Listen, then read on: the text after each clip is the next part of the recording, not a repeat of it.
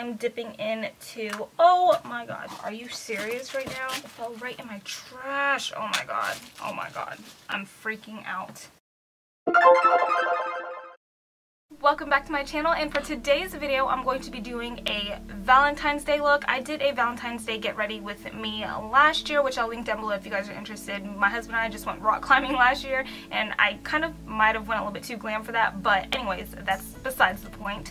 We um, ended up doing a tutorial this year since we had, since I do have a little bit of time left I'm hoping I can get this up before Valentine's Day. This is the look that I obviously ended up doing. It is a pink cut crease and I'm digging it. I'm digging it. If you're interested in seeing how to achieve this look, then just keep watching. Let's get started. As you can see, I've already done pretty much all of one eye. Still have not done the lashes yet because we're going to be trying out some new lashes today and I am going to demonstrate how I achieved this cut crease right here on this eye. I'm going to start off with this shadow palette. It's pretty much a mixture of Morphe and Makeup Geek shadows. All these shadows you may pretty much already have, so you can just incorporate what you have, so you don't have to go out and buy anything, but um, it is it is an option, so I'll let you guys know what shadows I'm dipping into. Start off with this super big fluffy brush. It's a Morphe M517. Dipping into the shadow swine and just putting that in my transition. And this is going to be just a shadow that is very similar to your natural skin color. I should zoom you guys in.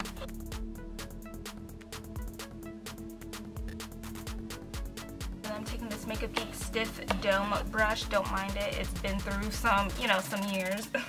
and dipping into the shadow caramelized and then I'm just to put that over the area that I put um, the transition. So we're slowly building up. We're not just going with a super dark shade and packing that on there. We're to slowly build up to a deep shade.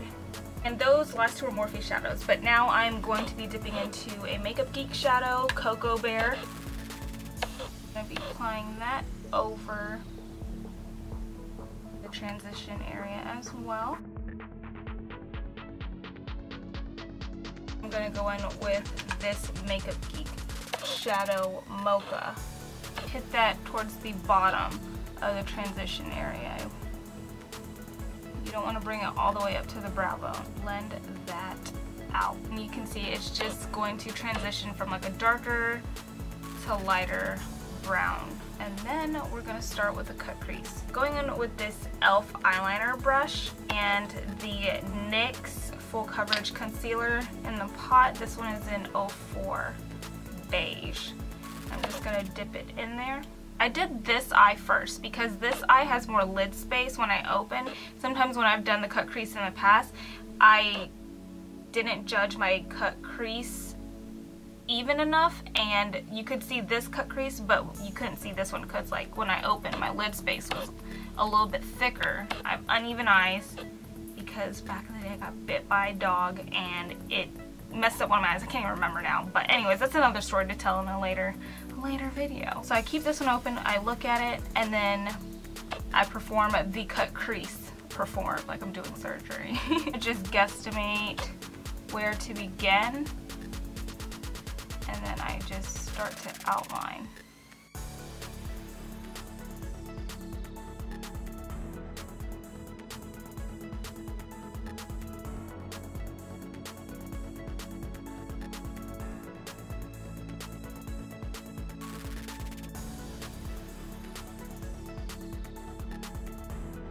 I'm just going to fill in my whole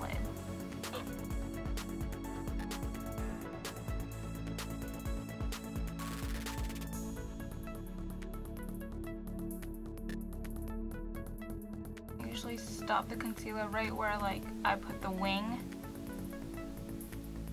because anywhere below that you really don't need shadow. It's also going to act like a base for your shadow that you're to lay on top of that. So once that is completed, hard part's over. going in with this Urban Decay shadow brush and this pink matte shadow.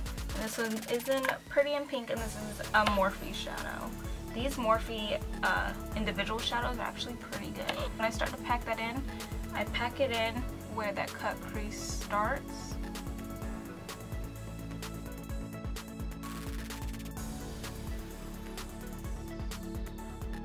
And then I just start filling in that whole area.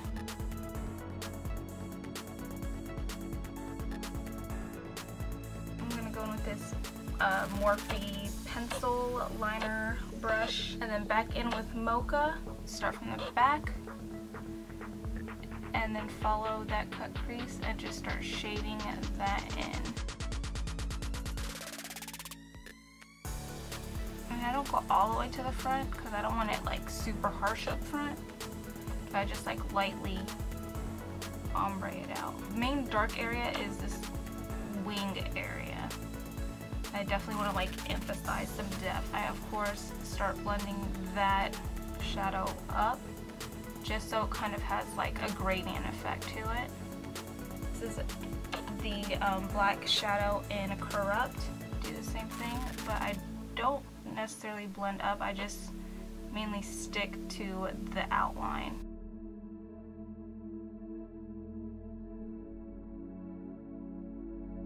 That's what's going to give it that like deepened look. Of course I don't go all the way down. I kind of just stop right above the eye and just gradient, gradiently just like put it out. Kind of blend that area out. Just so if there's like some super harsh lines, you're still able to just blend that all out. Now I'm going in with the NYX Liquid Crystal Liner, and this one is in 108 Crystal Pewter. It's like more of like a lavendery purple, and I think like the pink and the purple is definitely Valentine's Day appropriate. Just gonna line just like the inner middle part of my eye when I do that, I just very light strokes, just outlining the cut crease.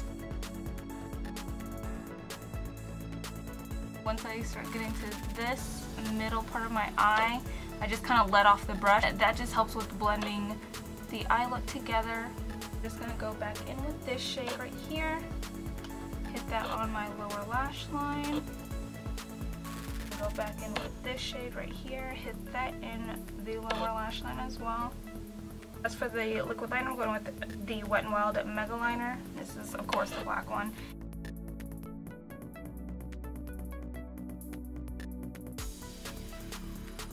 The tricky part is getting both of them to look the same.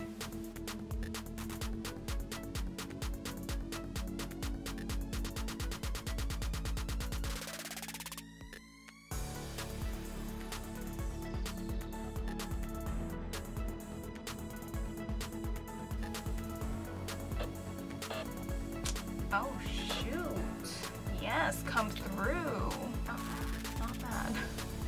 and now I'm gonna dip into the black shadow once again. We're just gonna line that on the outer waterline and then just kind of gradiently put that in. So it's gonna be more of like an ombre, just like this guy.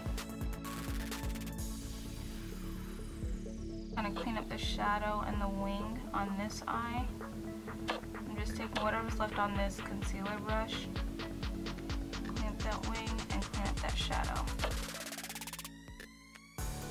Cosmetics Superhero Mascara. This has actually been one of my favorites lately. Using Jordana's um, 12 Hour Made to Last eyeshadow crayon pencil in Continuous Almond. And then I'm going in with this shade. This is in Shimma Shimma. And this one is a Makeup Geek shadow. And hit that in the inner corner also got baking on my face. Maybe I should take that off. but now that the cut crease is all said and done, we're going in with the lashes. For, as far as the lashes go, I have not tried this type before, but I've been super, super excited. Of course, I had to support your girl, Nicole Guerriero, and get her um, Eylure vlogger collection lash and this is the one in hashtag 143 I wanted to do these kind of together just to see how they look. I have not tried them. I have not opened them yet. I am dipping into them right now. Here is what they look like. Super dramatic and I feel like they're like honestly perfect for um, a Valentine's Day look. Yes. Holy crap. Okay. I'm just to measure this off fit my eye and it looks like it is. I'm just to cut just a little bit. they're starting to get tacky. One thing that I can say about the lash is it's very very flexible. It has ridges in it, so it fits your eyelid very easily and comfortably.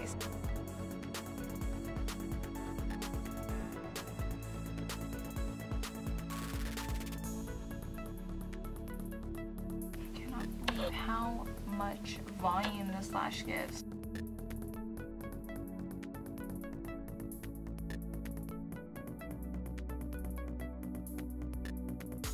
I love the way they just immediately conform to my lid and they customly fit my lid very nicely. Bind them with some One super dramatic and glam on the eyes. We're just to tone it down with the lips just to kind of pull the whole look together. I'm going in with the Too Faced Melted Matte and this one is in Cool Girl.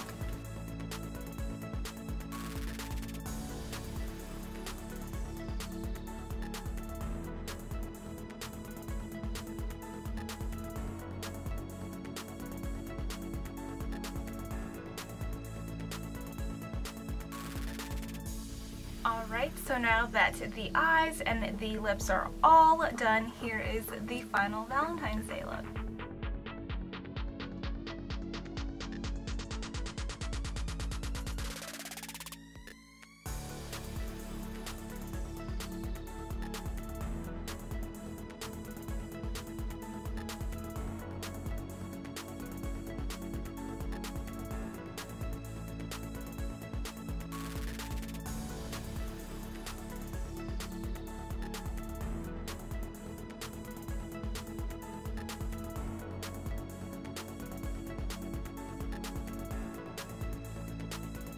So that is everything for this Valentine's Day look. If you guys enjoyed watching, please like this video. And if you have any questions about the look, just comment down below, let me know what's up. Subscribe to my channel if you haven't already, I would greatly appreciate it. I will also list my Twitter, my Facebook page, and my Instagram around this area, and I'll have everything linked down below as well.